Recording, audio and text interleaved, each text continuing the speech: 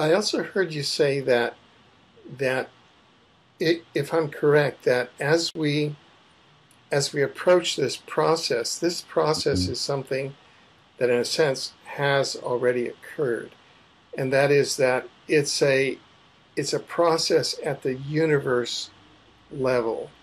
Mm-hmm. In a way, it's a destiny process, and that those of us who have enrolled ourselves in the destiny of Gaia are part of that. Is that? Am I catching on? Yeah. Yeah, because the future's already happened from much higher perspective. You know, past, present, and future exist simultaneously. So this is where our egos tend to have issues. I, I struggled with this for a very long period of time myself. And um, to, for my ego to actually understand the concept of the future's already happened.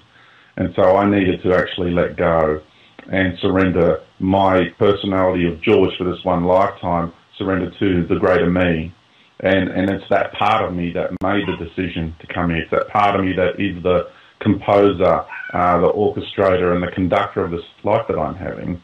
And that's the part of me that's totally in sync and one and harmony with creation and you know the universal creator and beyond. So it's um, once you can surrender to that, then you actually flow. And, and what's happening is our higher self is absorbing our ego. See, we're we're integrating. Our egos are important. It's it's it's of utmost importance not to live in denial of the ego because that creates more internal division. It's actually important to embrace our ego and to understand how it's serving us because our earthly personalities are, are the ego for, for this level, but are also, um, it, you know, it resides in the mind construct. And so all, it's the interface, you know, for this reality.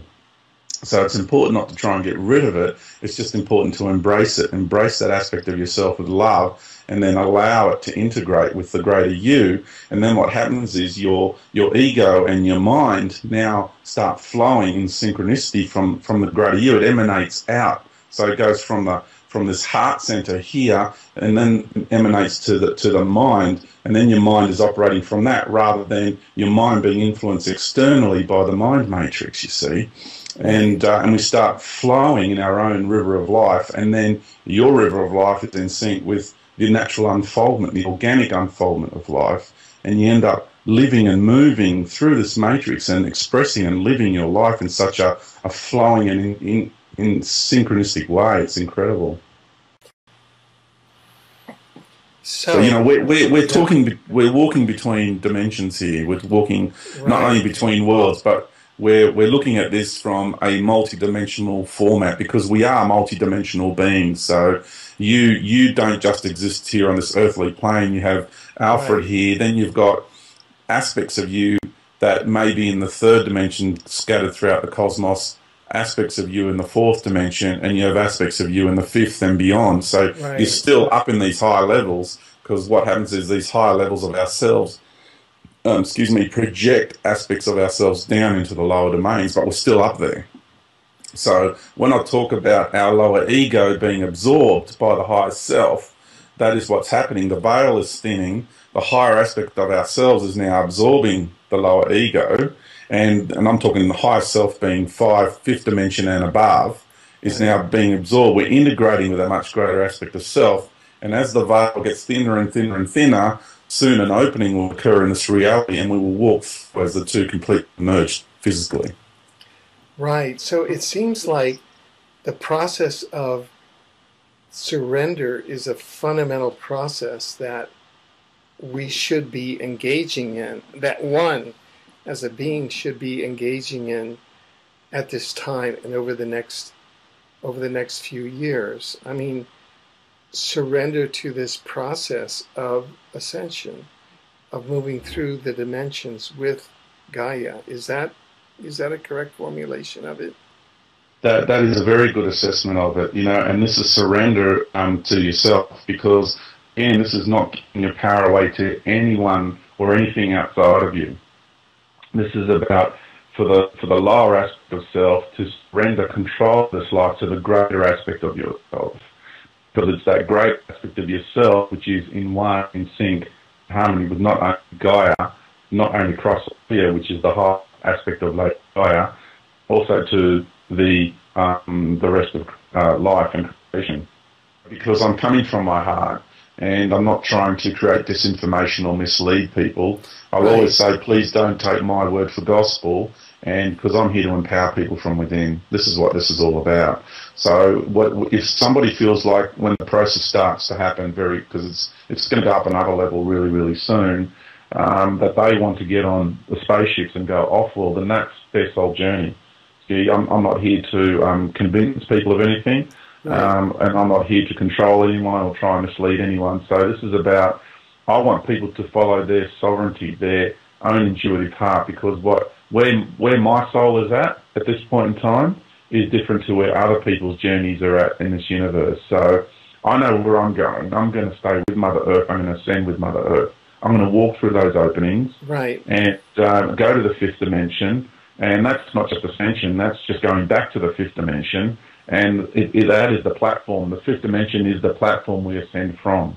You know, because right. once we get back there, then that's where we prepare for all of our dimensions to implode simultaneously all at the same time. And then what gets birthed out of that is universal consciousness, you see. So that's that's the process I'm going through. But wherever anybody wants to go, that's entirely up to them. Because I've been to the fifth dimension many times yeah. in this lifetime. Yeah. There's no electricity. Like I said, yeah. there's no technology. There's no such yeah. thing as steel or electricity or plastics or these are all elements and substances of the lower domains of the universe. So these sort of things and, and radiation, all that, do not exist in the higher dimensions. Right. Um, they just don't exist. They're not a part of it, of that reality. And so all these things are all part of the lower ego of Mother Earth. And as we transmute our lower ego, she's transmuting her low, lower ego. And this is another um, um, kind of aspect to it that I wish to share because a lot of people feel that we're going to um, go through this process. It's going to be a long, drawn out process. That right. we're going to start introducing new technologies. We're going to go back to nature. We'll all be loving again, and everything will be beautiful. And I'm trying to explain to people that that's nice. I would really like it to happen that way as well, but I don't feel that that's the reality of it. Um, because first of all, I feel it's going to happen uh, very intensely over a short period of time, simply because I understand the forces of darkness and the forces of limitation. So a lot of people are spending a lot of time on the positive end of the scale because you know they're two sides, they're alter egos of one another. You know, and the and the process of you know the the um, I suppose the consciousness and the light that I'm speaking of is you take those two and you integrate them and you rise out of that paradigm and that's the, the consciousness and the light that you know the 5D version that I'm talking about. So when when we go from the negative side of the charge over the positive side of the charge, we're still down in the lower domains, but it's just a different expression. So um, th- that expression is not above the negative. They like to see themselves as though they are, but they're really across from it, if you know what I mean, because it's two sides of the scales of duality of life. Now, I've, I've, I've explored both paradigms extensively, so that's why I'm talking from experience here.